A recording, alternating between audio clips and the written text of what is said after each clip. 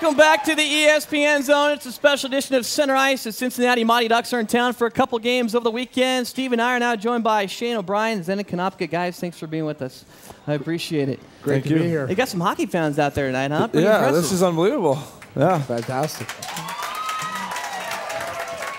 Well, Shane, first, I want to talk to you. Um, the Ducks' philosophy for the last couple of years has been draft big defensemen, get some guys in there that can play physical. You've led the team in penalty minutes this year. I mean, is it a mindset when you step on the ice? Is that what you're looking to do? Is push some bodies around?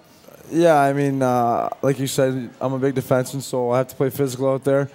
I might be fighting a little more than I would like to have this year, but uh, that happens. I mean, uh, you can't you can't let guys take liberties on your player, and, and Zenon does a good job as well. If uh, if guys take liberties on uh, Joffrey Lupul and, and Chistov and guys like that, uh, you got to get in there. So yeah, I, I think I like to play physical and, and make the good first pass, and, and uh, don't let anyone mess around out there.